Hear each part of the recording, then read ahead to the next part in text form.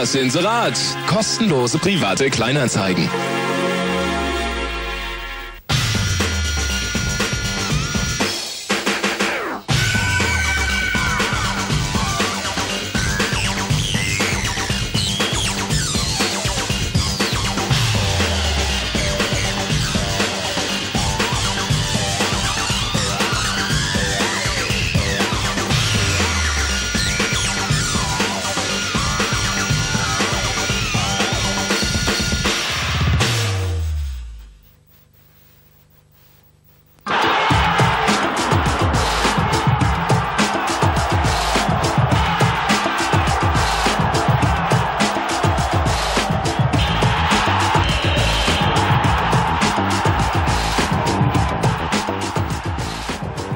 EC Bad Nauheim, seit Jahrzehnten eine allererste Adresse für Spitzeneishockey in Deutschland.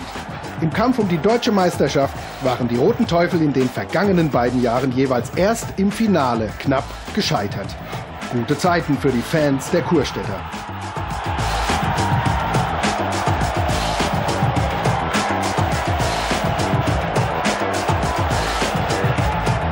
Eines der Highlights dabei, der Halbfinaltriumph in Düsseldorf an der Bremstraße. Der Eishockeytempel Deutschlands, für die Nauheimer eine Festung, die sie nur allzu gerne erstürmten. Am besten sind die gewonnenen Spiele in Düsseldorf, wenn man so bei den 8000, 9000 Zuschauern, die dann da waren, äh, vom Eis fährt. Äh, Düsseldorf ist immer ein Highlight gewesen, immer, solange wie ich spiele, immer. Ob das früher war, ob das jetzt ist. Ich bin gerne in Düsseldorf, habe, kenne da eine Menge Leute, das Ganze drumherum. Äh, mir gefällt das Stadion, da es offen ist, die Atmosphäre. Und gegen die Moskitos aus Essen lieferten die Roten Teufel eine Endspielserie, an die man sich noch lange erinnern wird. Ja, es war ein absoluter Hitchcock und ich glaube, das wird wahrscheinlich auch erst mal für ein paar Jahre einmalig sein im deutschen Eishockey, dass man im fünften Endspiel äh, nach regulärer Spielzeit, nach Verlängerung jeweils 0-0 steht. Das alleine ist schon im Prinzip eine Geschichte, äh, die, kaum, äh, die man kaum glauben kann. Und dass man dann tragisch im Penalty-Schießen durch nur einen einzigen verwandelten Penalty ausscheidet, das nagt schon an einem und da knapper ich heute noch ein bisschen dran.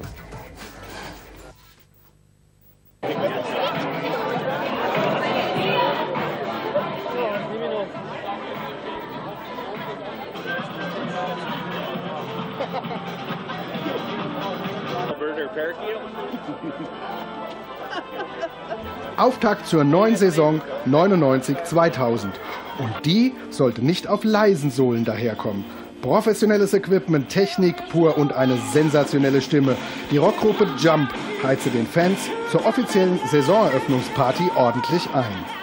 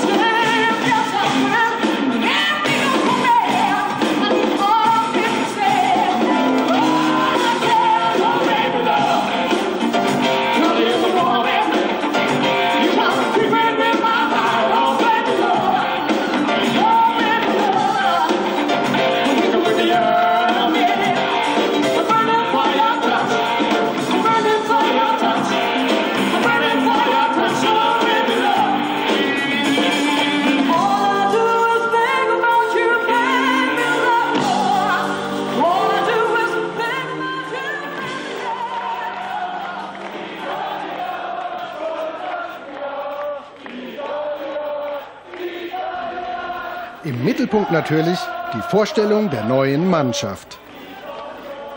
I can tell you one thing. The reason I came back to Bad Nauheim was last year we didn't win the championship, but this year I feel that we have we know what it's like to finish second place, and I think we're sick of it, and we want to finish first for once.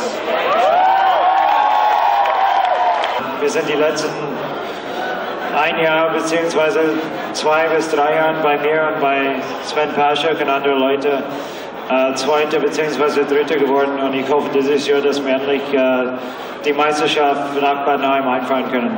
Also ich glaube, wir sind ziemlich gut zusammengewachsen in der Mannschaft, haben ziemlich viel Spaß gehabt, aber Spaß natürlich jetzt vordergründig, wir wollen natürlich auch viel Erfolg haben und ich glaube, das haben wir mit der Mannschaft. Ich glaube, es ist ein ganz nettes Team und ich glaube, wir machen da einiges heuer. Danke dir, Christian. Viel Spaß in der Saison. So, liebe Freunde, meine sehr verehrten Damen und Herren, hier oben steht der EC Bad Nauheim.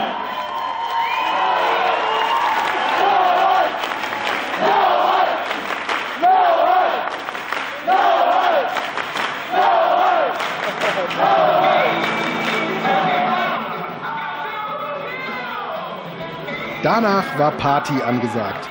Samba in Bad Nauheim. Am Anfang tanzen nur die Mädchen.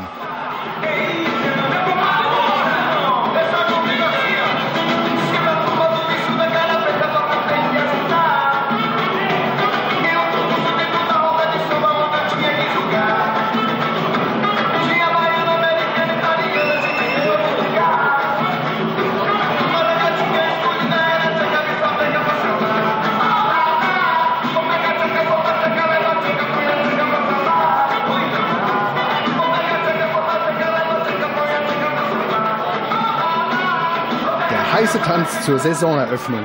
Er fand am nächsten Tag seine Fortsetzung auf dem Eis und wirkte bei den Fans noch nach. Es war mal was anderes, war klasse, ja. Erste Standortbestimmung für die Roten Teufel. Zu Gast der Lokalrivale aus Frankfurt. Ein ewig junges Duell. Ja, in erster Linie ist es was für die Zuschauer. Und aus der Tradition heraus gesehen sind die Derbys zwischen Frankfurt und Nauheim immer mit einer sehr großen Brisanz gewesen. Und das ist auf alle Fälle eine Veranstaltung für die Fans. Und sie, die Fans, sahen die Nauheimer Mannschaft mit Torerfolg. Auch der ehemalige Goalie der Roten Teufel, Bibi Appel, hatte gegen den Sturm der Nauheimer das Nachsehen.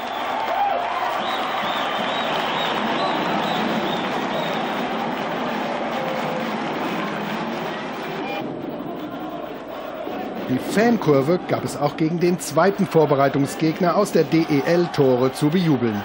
Die Revierlöwen aus Oberhausen machtlos gegen den Torhunger der Teufel.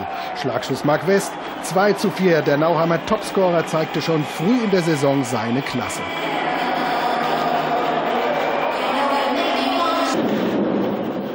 Start zur Punktrunde der Bundesliga. Auftaktgegner der Heilbronner EC.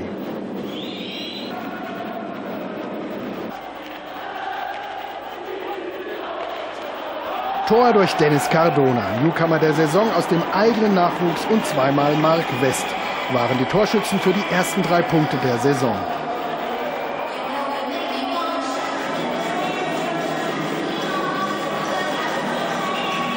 Klaus Dalpiatz, danach natürlich in Feierlaune.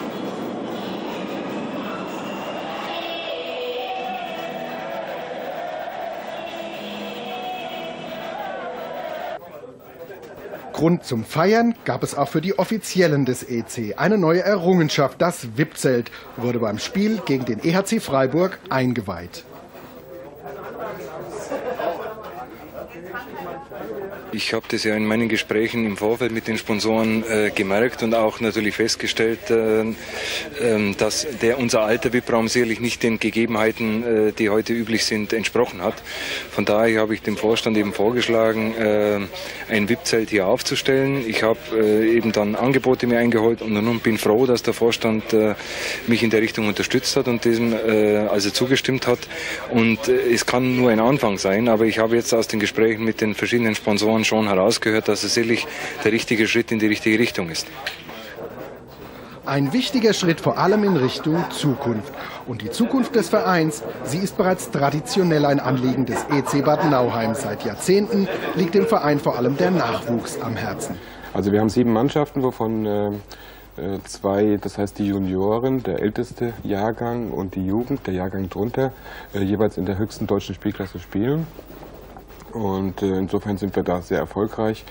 Äh, Es spielen momentan etwa 170, 180 Kinder, äh, die von kleinst auf bei uns Eishockey lernen. Ich denke, wir haben einen sehr guten äh, Trainer, Trainerstab auch.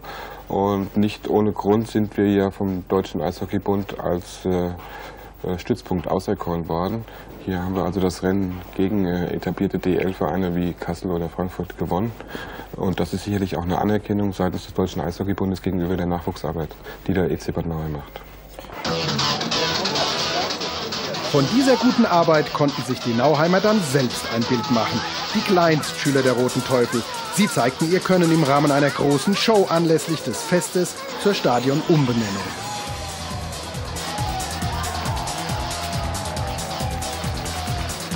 Alles wie bei den Großen. Torjubel und Faszination Eishockey in all seinen Facetten.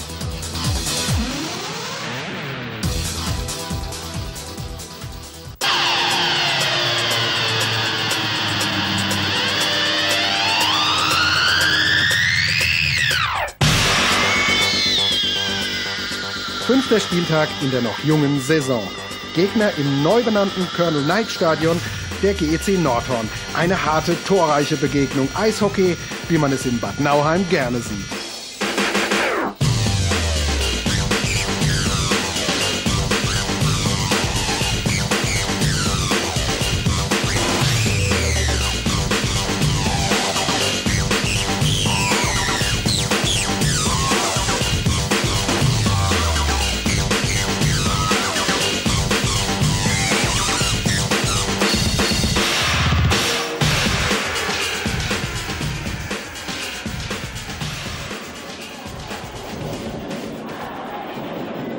Wurde das Spiel im Penaltyschießen durch eine äußerst fragwürdige Schiedsrichterentscheidung.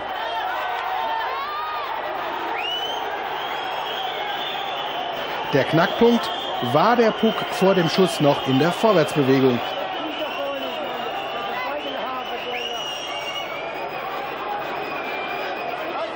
Alles reklamieren half indessen nichts. 4 zu 5 für Nordhorn, auch wenn diese Szene natürlich reichlich Stoff für Diskussionen lieferte. Ich hatte äh, nicht geguckt auf den Scheibe, ich war gucken auf den Spieler. Der Spieler hat äh, die Scheibe verloren.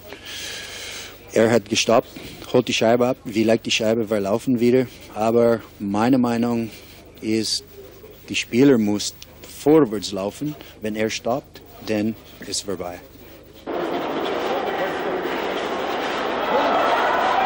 Tor für den EC Bad Nauheim gegen Harzer Blizzard. Der beginnende September hatte den Nauheimern bisher wenig Erfolg gebracht. Nach fünf Niederlagen in Folge war die Mannschaft bis auf den 14. Tabellenplatz abgerutscht. Ein Sieg musste dringend her.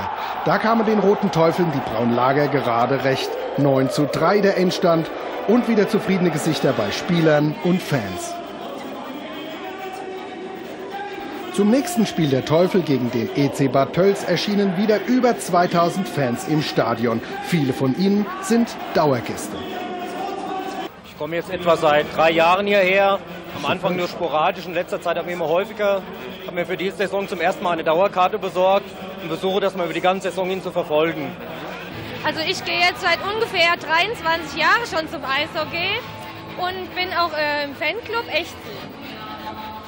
Ich seit knapp 30 Jahren komme ich zum EC Bad Nauheim, also Vor Vorgänger VfL Bad Nauheim. Eigentlich schon seit 15 Jahren, Hälfte meines Lebens. Diese Fantreue sollte mit Siegen belohnt werden und Mark West, der Topscorer der Teufel, machte sich unverzüglich ans Werk. Ein Abwehrfehler in der Tölzer Hintermannschaft brachte die Nauheimer in Führung und auch das zweite Tor, es ging auf Mark Wests Konto. Es war der Tag der Nummer 41. Er steuerte zwei Treffer zum 5 zu 2 Sieg der Nauheimer bei und er hätte leicht noch mehr scoren können.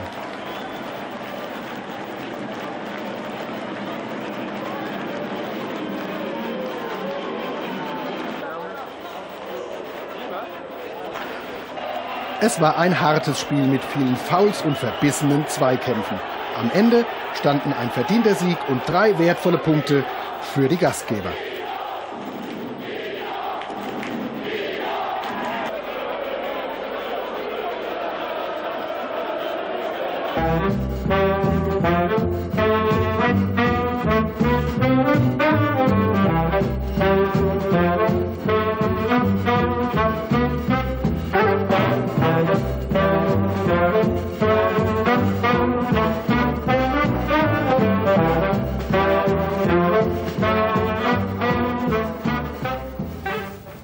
Guten Abend. Schön, dass Sie uns auf Ihrer Fernbedienung gefunden haben.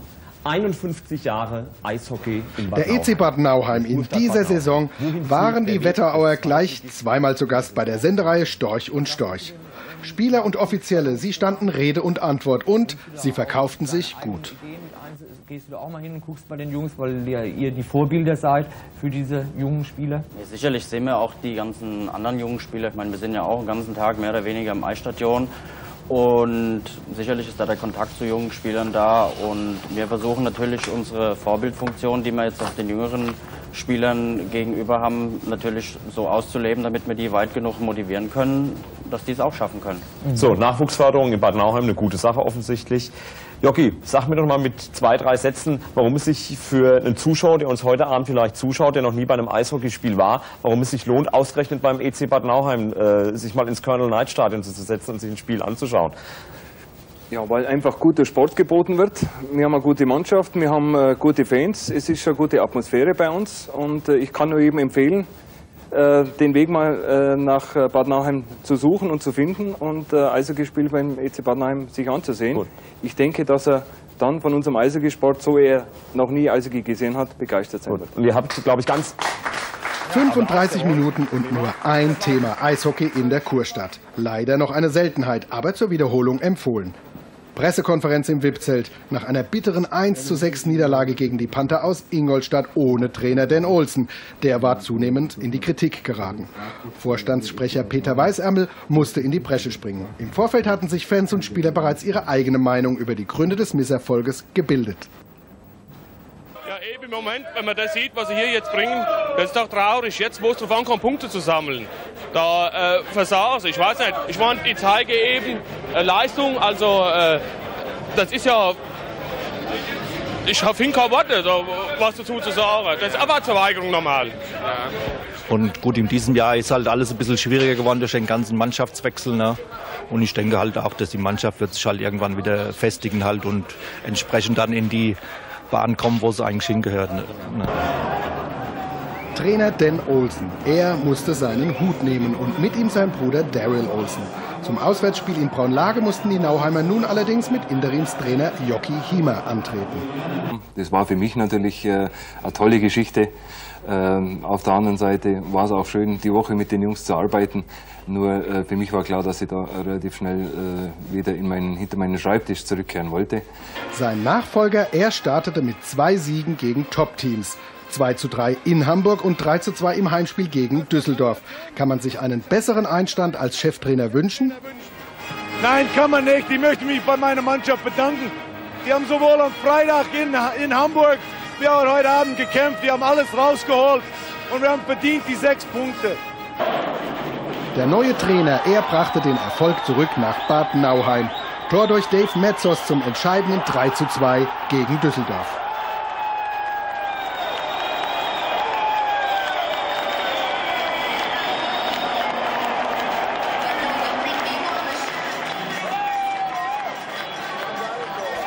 Welche Hoffnungen sind mit dem Einstand eines neuen Trainers verbunden?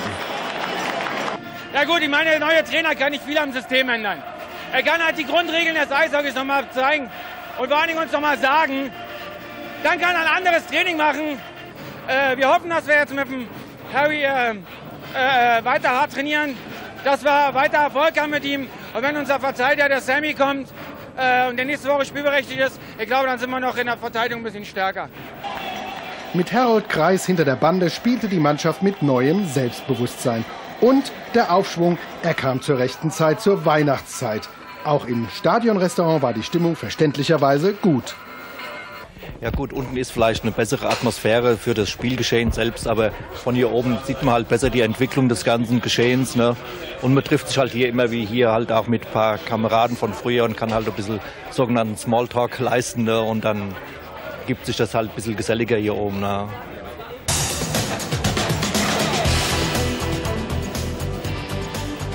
Sechs Siege aus sieben Spielen hatten die Nauheimer bis zum Ende des Jahres den Platz 5 in der Tabelle beschert. Einen Tag vor Silvester sollte gegen den Erzrivalen aus Iserlohn endlich mal ein Heimsieg her. Doch zwei Spiele vor Abschluss der Vorrunde benötigten die Sauerländer unbedingt die Punkte, um doch noch den Klassenerhalt zu schaffen. Die Zeichen standen gut für ein faszinierendes Eishockeyspiel.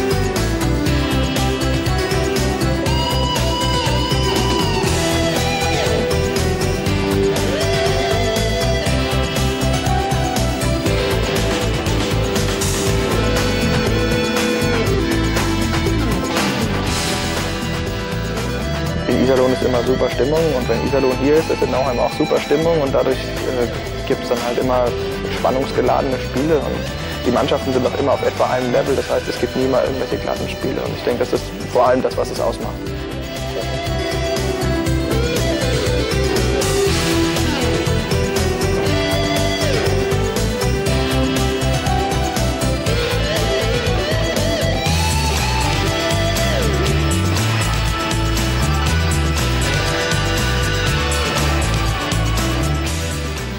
Für dieses Mal behielten die Iserlohner mit einem knappen und glücklichen 4 zu 5 Sieg die Oberhand.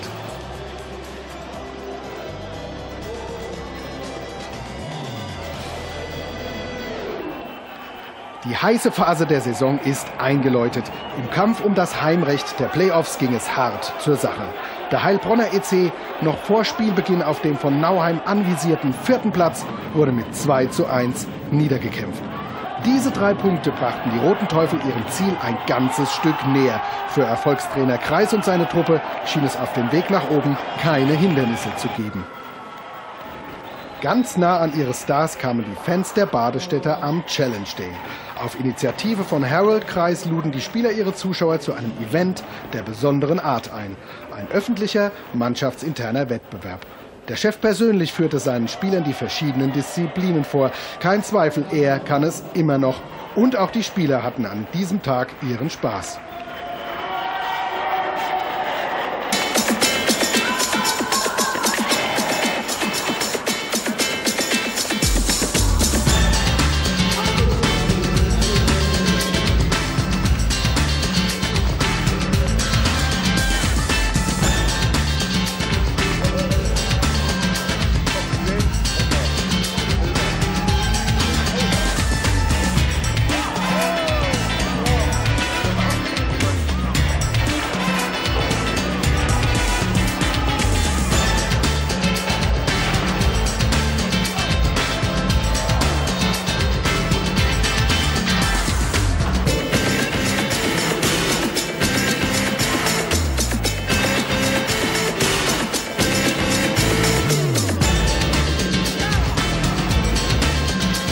Seit Mitte der Saison auch wieder mit dabei Andreas Morcin jetzt. Kein Neuer in Nauheim. Er wollte unbedingt wieder ein Teufel werden.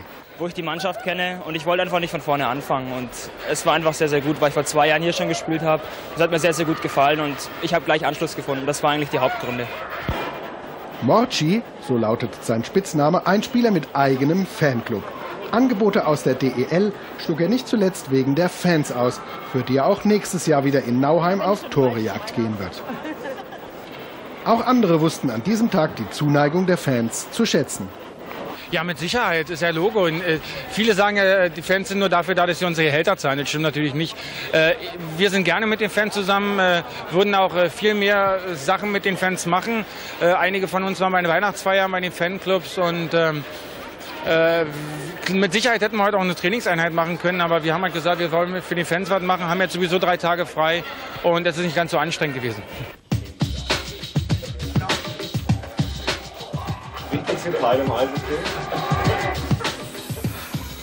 An diesem Tag war nicht einmal die Mannschaftskabine tabu.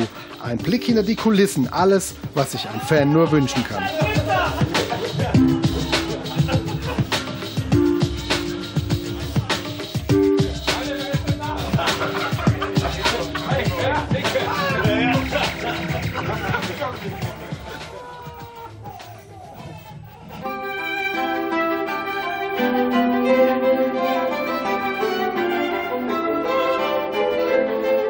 Raue Luft im Kurpark. Die Jadehaie aus Wilhelmshaven kämpften verbissen um die Teilnahme an den Playoffs. In der Vorrunde hatten die Teufel nach einer hohen Führung das Match noch verloren. Vor heimischem Publikum sollte diese Scharte überzeugend ausgewetzt werden. Dabei liegen dann schnell die Nerven blank. Ja, diese, diese Massenschlägerei war eigentlich ein Endresultat, eine, eine Aggressionssteigerung, die eigentlich kontinuierlich vonstatten ginge. Der Schiedsrichter hat, war auch der Meinung, dass beide Trainer ihre Mannschaft hätten zurückpfeifen müssen. Das war sein, äh, sein Ausdruck, zurückpfeifen. Vorwurf, ja. Oder Vorwurf oder Mhm. Vorschlag, aber das ist in dem Fall unmöglich. Ähm, eine, eine gewisse Steigerung der Aggression konnte ich schon feststellen. Und, und das ist meines Erachtens auch der Versäumnis des Schiedsrichters gewesen, dass er einfach da nicht hart durchgegriffen hat. In dem Moment Also vor dieser Szene gab es schon eine Steigerung der Aggression. ja, natürlich, das ist mehr mit ja. dem Stock gearbeitet, Ja. ähm, Ah. Stockschläge, auch Ah. äh, miteinander gesprochen oder geschimpft, geredet und so weiter. Und der Docht ist immer äh, Mhm. weiter runtergebrannt und auf einmal explodiert es und, und da hat man keine Möglichkeit, dann die Spieler äh, an die Bande zu halten, auf gar keinen Fall. Ähm, man hofft nur, dass sich niemand verletzt bei so einer Situation, dass eigentlich Ja, Äh, da jeder einen Überblick hat, dass kein Spieler irgendwie äh, von zwei angegriffen wird und äh, Gott sei Dank hat sich niemand weiter äh, groß verletzt, weder bei uns noch bei äh, Wilhelmshaven. Ja. Tohu Wabohu auf dem Eis. Muss da nicht ein Trainer seine Spieler zurückhalten?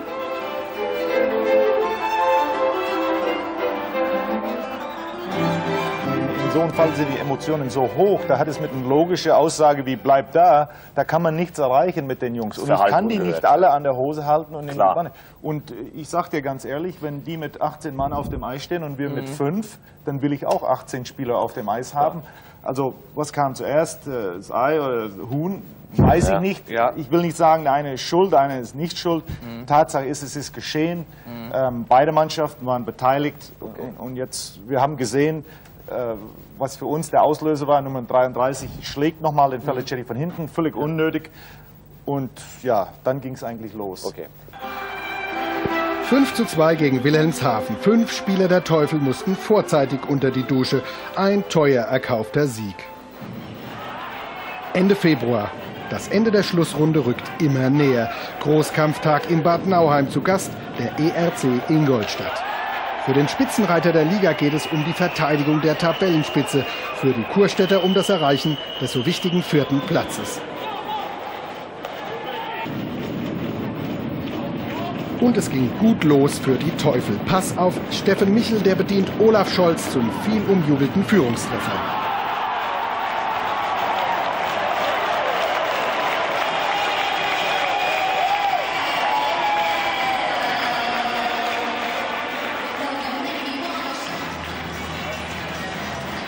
Der Trainer dennoch weiter unter Strom, denn die Ingolstädter, sie spielten sich vermehrt Torchancen heraus. Beginn des zweiten Drittels, Roland Timotschuk kommt frei zum Schuss und es steht 1 zu 1.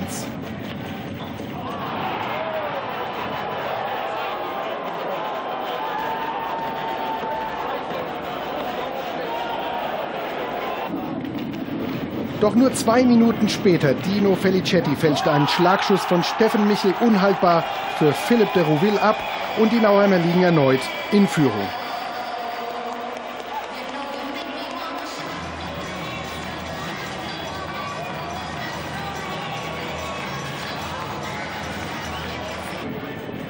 Und weiter ging's in Richtung Panthertor.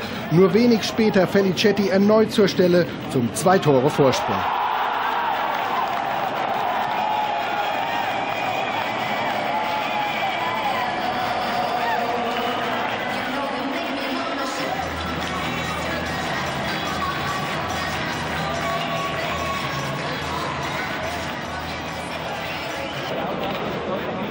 Überzahlspiel Ingolstadt zu Beginn des dritten Spielabschnitts. Olaf Scholz kommt nach zwei torlosen Minuten zurück aufs Eis und doch nicht mehr rechtzeitig. Die Panther verkürzen auf 2 zu 3.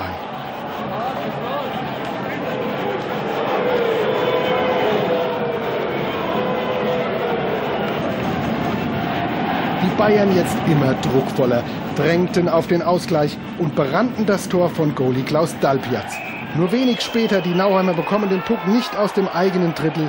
Da war auch er machtlos. 3 zu 3 Ausgleich durch Wolfgang Kummer.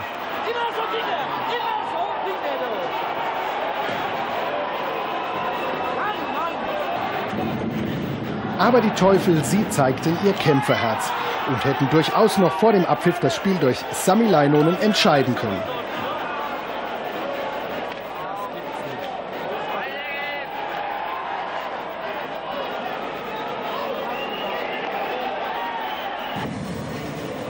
Die Entscheidung, sie fiel erst im Penaltyschießen. Trainer Harold Kreis bewies ein glückliches Händchen bei der Auswahl seiner Schützen.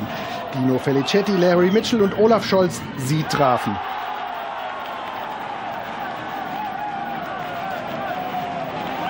Das Übrige besorgte Klaus Dalpiaz. Mit drei gehaltenen Penalties. Der Rest war Jubel.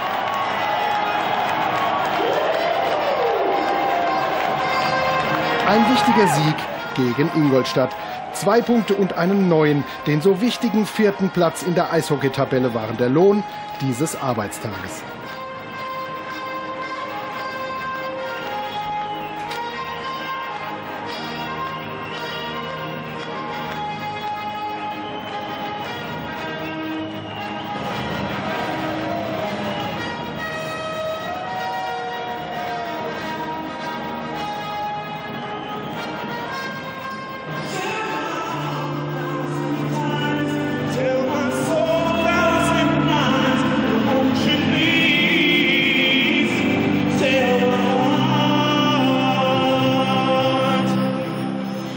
Showbusiness und Eishockey. Auf den ersten Blick vielleicht für viele eine eher ungewöhnliche Mischung. Doch dass dieses Konzept aufgehen kann, davon konnten sich die Zuschauer im Spiel gegen Freiburg selber überzeugen.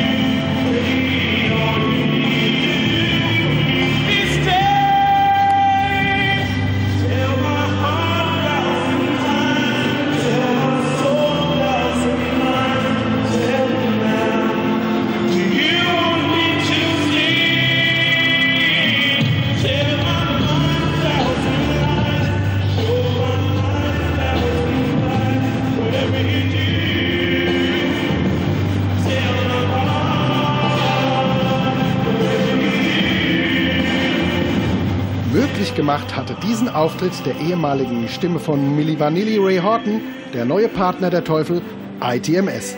Die Zusammenarbeit mit dieser Marketingagentur war eine Entscheidung, die sich für das Eishockey in Bad Nauheim bereits bestens bezahlt gemacht hat.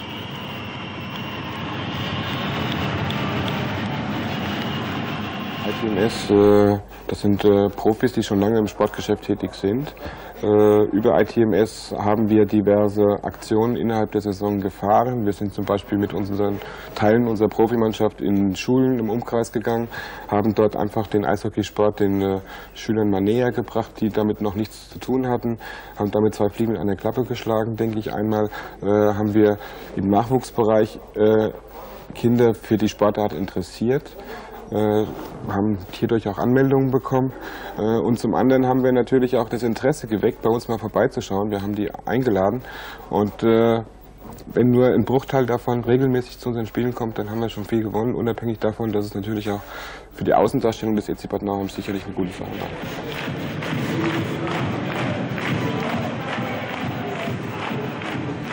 Riesenstimmung im prall gefüllten Colonel Knight Stadion. Die Roten Teufeln in den Playoffs 2000. Nach einem Auswärtssieg gegen den Viertelfinalgegner Bad Tölz konnten die Nauheimer im eigenen Stadion in der Serie mit 2 zu 0 in Führung gehen und damit die Weichen in Richtung Halbfinale stellen. Kein Wunder, dass die Fans in ausgelassener Feierstimmung waren.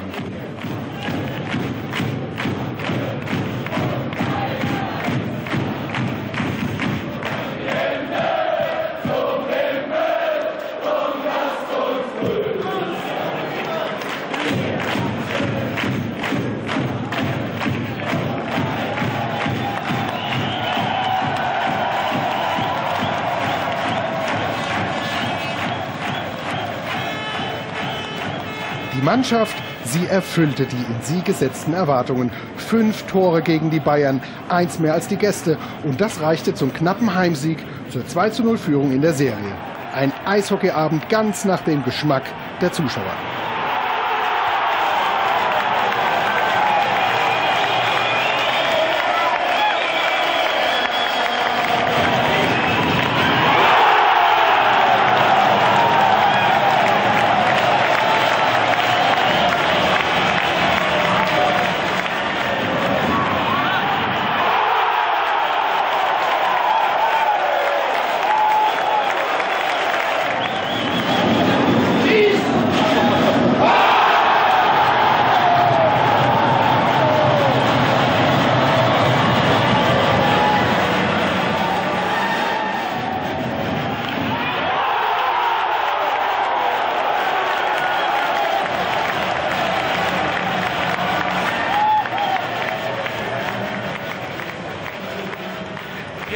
Am Sonntag klar oder?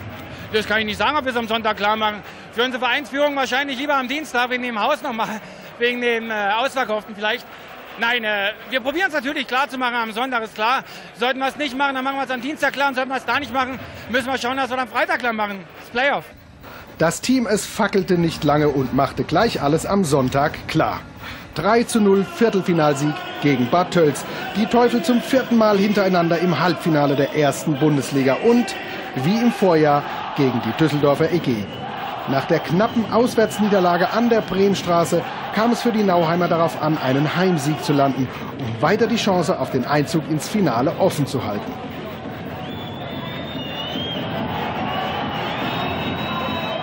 Und dass sie das schaffen wollten, daran ließen sie keinen Zweifel.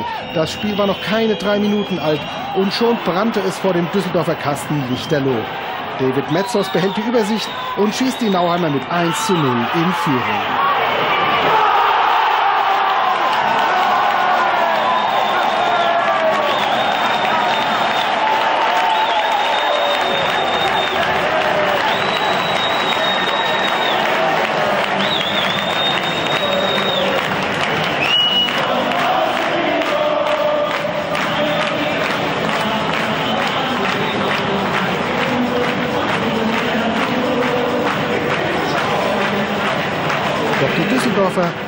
Kamen schnell zurück. Zwei Minuten später Verteidiger Travnicek mit Schlagschuss zum 1:1 Ausgleich.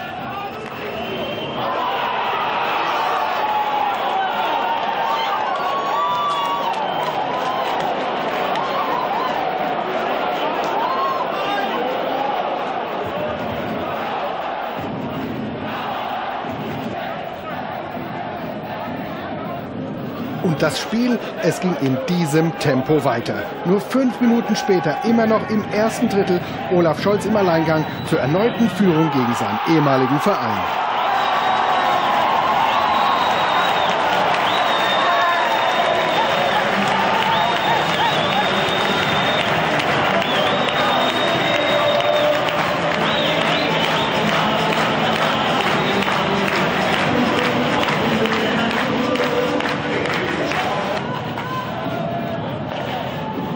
Zu 1. Ein denkbar knapper Vorsprung im Eishockey, wenn man ihn über zwei Drittel verteidigen muss. Aber es war der Tag des Ingo Schwarz. Was auch immer die Düsseldorfer vor sein Tor brachten, an ihm kamen sie an diesem Tag nicht mehr vorbei. Heimsieg der Nauheimer gegen die DEG. 1 zu 1 Ausgleich in der Halbfinalserie. Die Fans waren mehr als zufrieden.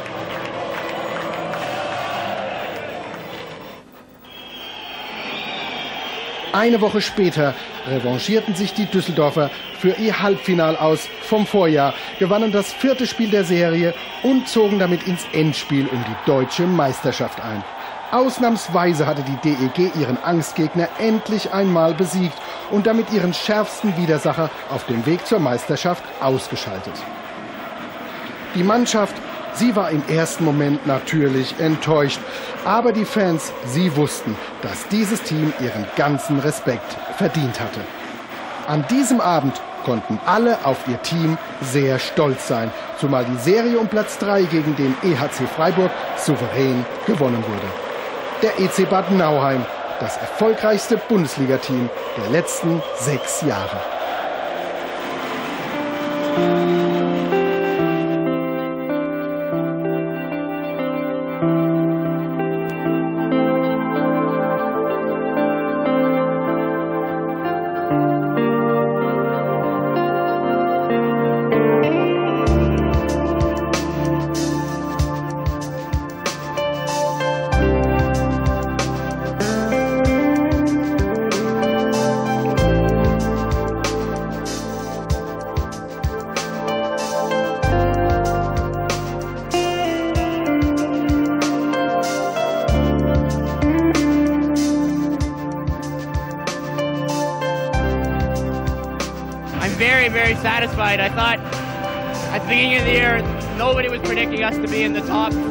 Everybody said if we make the playoffs, we'll be lucky. So we make the top five. We win the first round of the playoffs. What we did with this team was incredible. You know, I not that you can't say anything bad about us. We tried our hardest all year. Es war Mannschaft mit Charakter und äh, geprägt vom kämpferischen Element, wie immer in Bad Nauheim und so wird es sicherlich auch in Zukunft sein.